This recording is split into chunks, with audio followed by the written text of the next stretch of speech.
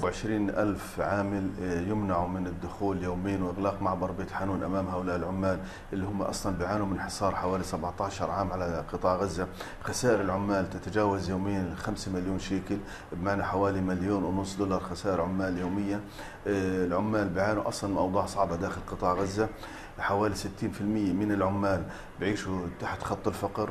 نسبة البطالة بين العمال تتجاوز ال 50% إذا يعني العمال وضعهم صعب داخل قطاع غزة.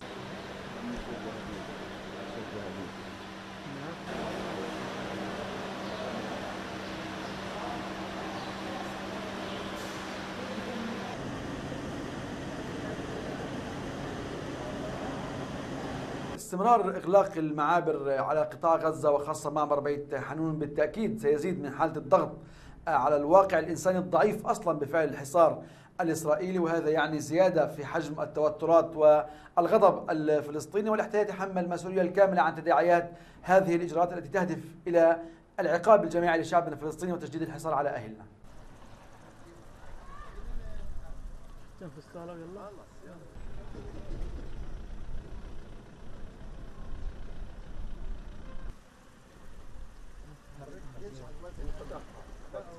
Have a look.